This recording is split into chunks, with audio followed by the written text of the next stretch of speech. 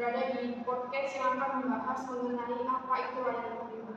Pasti dari kalian nggak asing kan mengenai layanan itu apa, tapi di sini kita bakal bahas lebih detail lagi mengenai layanan prima dari beberapa sudut pandang. Karena di sini eh, kebetulan hadir saudara kita sebagai pustakawan dan juga saudara Nasa sebagai pemustaka satu, kemudian ada saudara Anda sebagai pemustaka dua. Nah, untuk topik pembahasan pertama, sepertinya saya akan menanyakan mengenai apa itu layanan prima menurut pendapat dari sudut pandang pustakawan berbeda.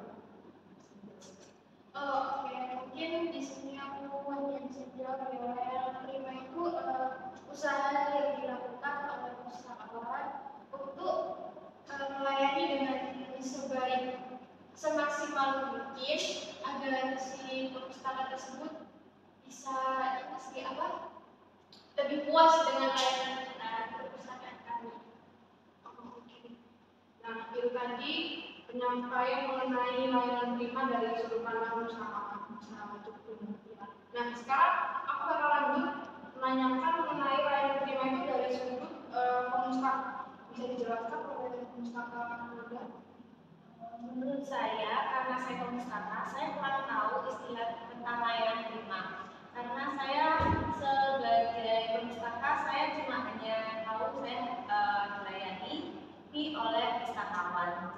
Tapi setelah mendengar dari pustakawan bila, jadi saya mengerti bahwa eh, layanan prima itu adalah layanan terbaik yang diberikan eh, eh, pustakawan untuk pustaka agar pustaka terbantu oleh layanan yang diberikan oleh pustakawan.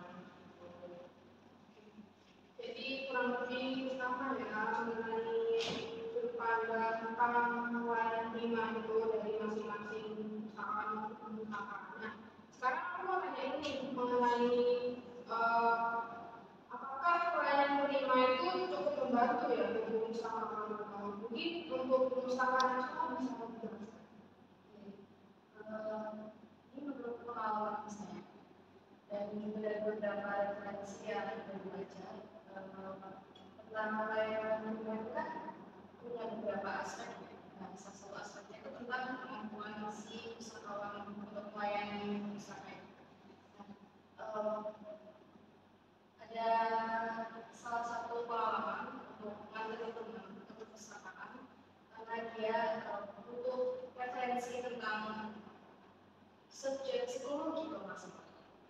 Nah di situ dia tanya tuh sama pustakawan tentang eh, buku atau referensi digital yang bertemakan tentang eh, psikologi dan pustakawannya itu memberitahu gitu eh, tentang jurnal-jurnal apa saja dan dari dari mana saja misal dari waktu itu dia ditunjuk dari DUAJ terus dari desain direct juga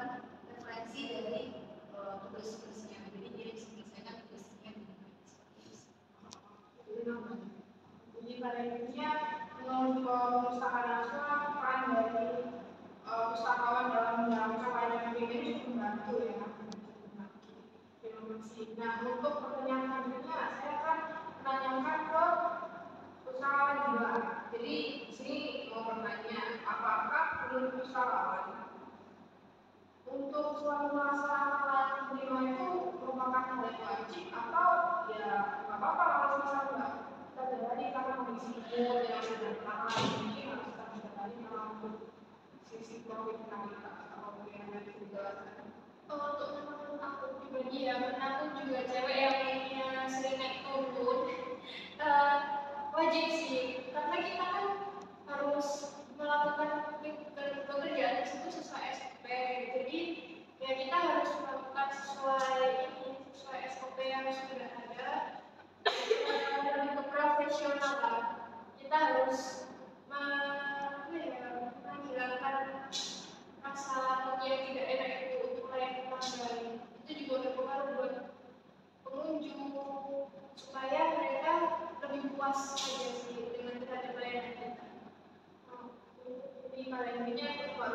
Allahumma ya, meskipun uh, eh, situasi ini juga sedang tidak baik-baik saja, tapi sebagai perusahaan yang baik, perusahaan memberikan pelayanan yang prima jadi untuk pertanyaan selanjutnya yang akan saya tanyakan adalah mengenai apakah dari sisi pengusaha pernah mengalami uh, pengalaman yang mendapatkan perlakuan dari pustakawan yang kurang menyenangkan, jadi merasa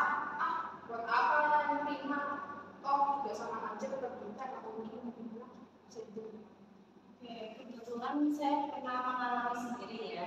Uh, waktu itu saya ke perpustakaan dan kebetulan itu saya kena pustakawan yang tidak lama. Jadi pas datang saya sudah tidak disambut. Terus selain itu tuh aku saya sendiri bertanya kepada pustakawan tersebut, tapi pustakawan tersebut itu tidak bisa menjawab dengan ramah uh, mereka tuh eh pustakawan tersebut itu cuma ngomongnya uh, kayak saya ya uh, uh, uh, saya mau mencari buku tentang ini tentang tentang sosial. Nah tapi pustakawan tersebut tuh hanya menjawab kayak di rak sebelah situ tempat tempat buku sosial bisa cari sendiri aja atau enggak kamu bisa nyari uh, search di opak nanti di situ akan dikasih tahu di loker berapa buku tersebut nah tapi menurut bagi saya saya yang orang awam yang baru pertama kali ke perpustakaan tersebut saya merasa kayak uh, masih ya bingung ya kayak meskipun sudah dijelaskan di rak mana mananya tapi menurut saya sendiri itu itu kayak masih uh, awam gitu dengan loker atau rak mana namanya gitu. jadi uh, menurut saya itu layanan prima itu butuh dan penting ada di perpustakaan tapi kalau uh, kembali lagi kalau pustakawannya saja tidak menerapkan dengan baik layanan prima tersebut nah kita sebagai uh, pustaka itu kayak apa bedanya layanan prima dengan layanan lain jadi kayak ya udah sama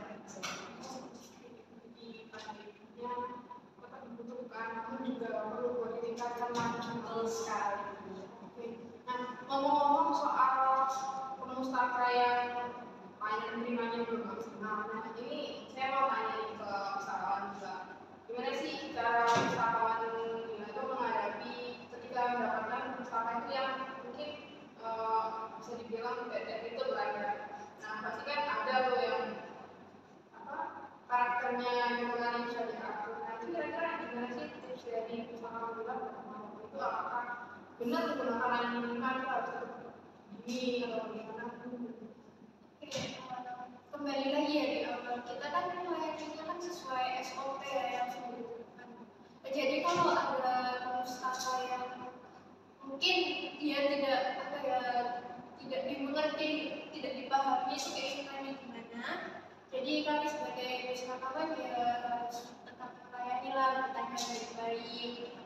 Kalau dia masih tetap kayak berontak gitu, nggak mau ngalah, maksudnya mau memberi yang lebih detail itu kita coba tegur nanti kalau dia sekiranya ditegur itu masih uh, batas ini ya kesabaran. Seseorang kan juga punya batas kesabaran uh, nanti kan itu akan berdampak ke apa ya buat keributan gitu loh di perpustakaan jadi mau nggak mau kita tidak lanjut untuk mengeluarkan menyuruh beliau tersebut keluar dari perpustakaan Oke, jadi pada intinya menghadapi pustaka yang kurang menyenangkan atau karakternya yang unik, sekiranya itu tetap dihadapi dengan layanan prima dan juga tipsnya tetap melaksanakan SOP yang sudah diberlakukan. Nah, eh, untuk pembahasan terakhir di sini akan ditanyakan mengenai bagaimana sih sudut pandang dari pustaka supaya layanan prima itu bisa maksimal atau mungkin bisa dikasih atau saran atau bagaimana untuk untuk pustakawan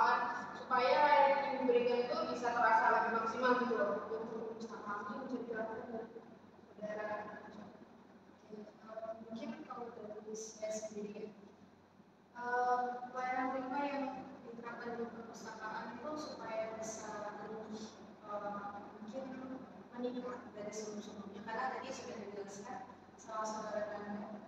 Itu tentang uh, ada perpustakaan yang masih dibuka dan punya network ada sebelum sendiri gitu lah ya kan? Nah itu mungkin harus uh, dari lembaga perpustakaannya juga uh, lebih menyikapi terhadap pustakawan-pustakawan yang sedang bekerja, yang juga memberikan uh, edukasi atau penyuluhan terhadap uh, layanan rumah pada pustakawan yang ada.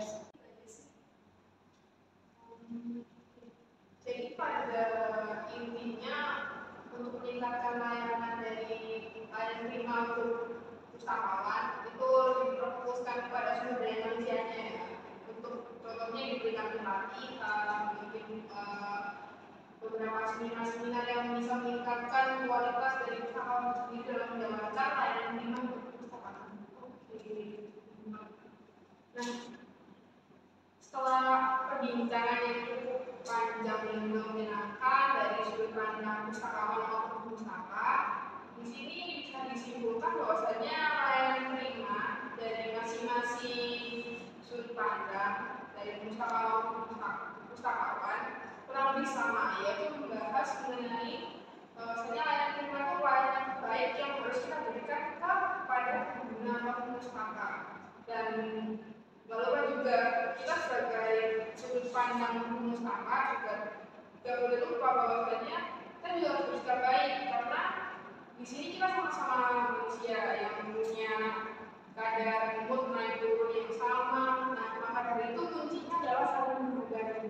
Dari segi pustakawan juga masih butuh peningkatan, tapi bukan berarti dari segi pustaka tidak perlu untuk memperbaiki itu atau mungkin etika dalam menggunakan layanan yang disediakan oleh perpustakaan. Jadi pada intinya sama-sama menghargai dan juga sama-sama meningkatkan apa yang dirasa kurang untuk menciptakan sebuah harmonisasi di dunia perpustakaan antara pustaka dan juga pustakawan.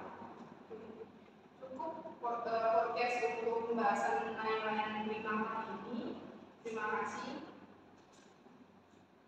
Jumpa kembali.